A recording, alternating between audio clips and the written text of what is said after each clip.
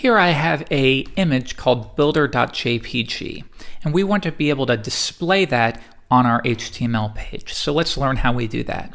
The first step is, of course, to open up our directory structure, and we want to place all images, as we learned in yesterday's episode, they should all be placed within the images folder. So I will do that now. Now I can close this out, return to my project, and you can see that it is in fact being referenced. So now let's reference that image. And I'm going to hit enter a couple times and we'll paste it right here.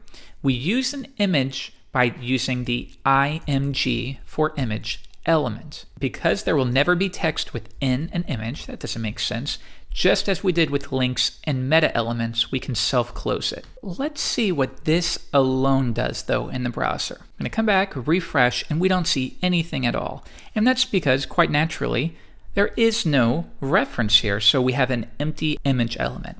It should be noted though, this may not be the case in all browsers. You'll find that in versions of Internet Explorer, it'll display a nasty X, meaning could not find the image. So make sure that you aren't referencing empty images or images that do not exist. In this case, let's come back. We can reference an image not by doing href, which you might expect, by doing something called src that source. What is the source of this image?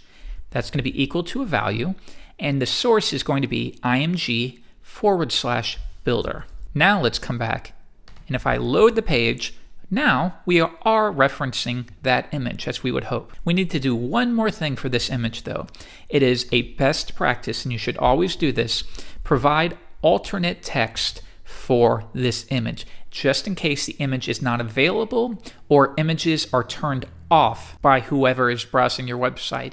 They need to be able to have some feedback as to what this image represents.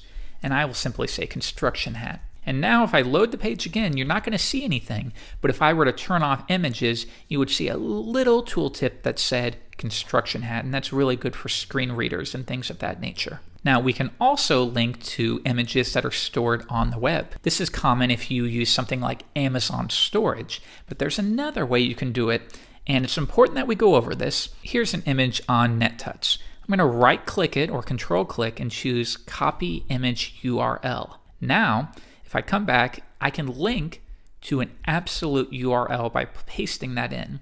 And if I come back, we can change the alternate text to Envato. And if I load the page, as you would expect, we are loading that image. So you might think that's really helpful.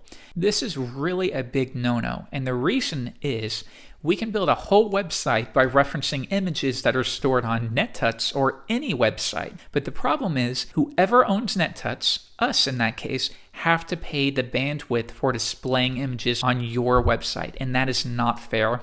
This is what's referred to as hot linking, and it's a bad, bad practice, so please don't do it. If there is an image on the web that you want to use and you have permission to use it, right click, save image as.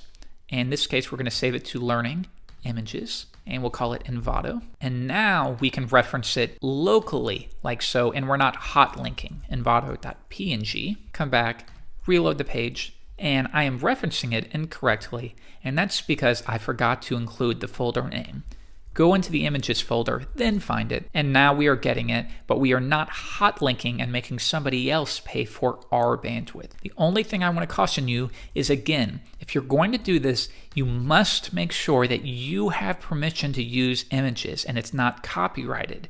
So whether that means emailing whoever owns the website and requesting it, or only using images that specifically allow you to redistribute them and use them any way you see fit. So again, to include an image, we use the image element, we specify a source that references where the image is stored, and then we specify alternate text for when images is turned off. In the next lesson, I'm going to teach you about divs.